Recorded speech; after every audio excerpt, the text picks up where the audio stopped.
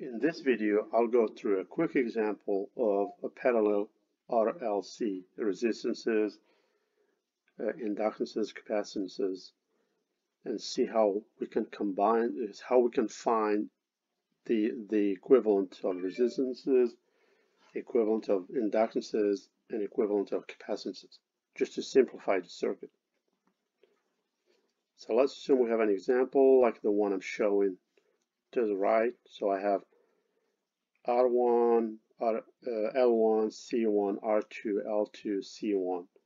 And I want to go from this circuit here to, to this circuit basically. Simplify it. And obviously in other videos you can uh, we can go from this into finding the impedances of each component, you know, resistance, inductance, capacitance, and then basically finding the overall impedance of the circuit. But let's start with this basic video, just kind of show how you can combine resistances, inductances, and capacitances. So I have R1 is, just to keep uh, things simple, R1 is equal to R2, 100 ohms, L1 is equal to L2, 150 millihenry, C1 is equal to C2, which is 200 microfarad. So what is the equivalent RC? Basically, the components of this circuit here. So if I look at the original circuit, I notice that R1 is uh, in parallel with R2. So the equivalent, if you only have two resistances in parallel, their equivalent is the product of the resistances divided by their sum. So that's what I'm doing. So it's 50 ohms. Then the equivalent of the inductances that L1 and L2 in parallel is just the product of their inductances divided by their sum. So 75 millihenry when you, if you carry out the calculation. So resistances and inductances, they behave kind of the same, you know, when they're in parallel or in series. Capacitances is kind of the opposite.